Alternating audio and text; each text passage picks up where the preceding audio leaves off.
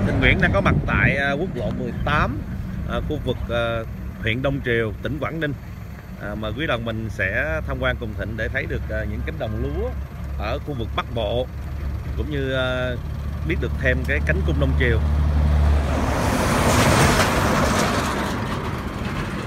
Đây, dãy núi phía trước mặt quý đồng mình thấy đó là cái cánh cung Đông Triều. Chút xíu nữa Thịnh sẽ đi vào trong sâu trong cánh cung Đông Triều này để đến được ngọn núi mang tên Yên Tử à, nổi tiếng với à, thiền phái thiền của Việt Nam và vị vua Trần Nhân Tông. À, quý vị cũng thấy sau à, năm 1975 tới ngày hôm nay thì Việt Nam có thể nói là một nước nông nghiệp khá phát triển là nhờ vào những công trình thủy lợi như thế này đây.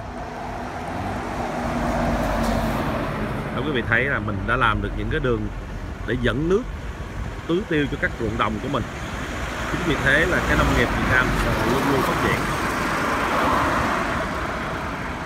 đây kính cung đông chiều đây. Và những clip tiếp theo của Thịnh Nguyễn sẽ đưa quý vị nhìn thấy thực tế nhất về ờ, ngôi chùa đồng.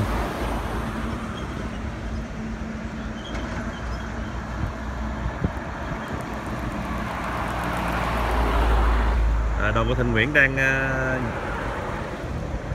dừng để ngắm cảnh đồng quê Bắc Bộ.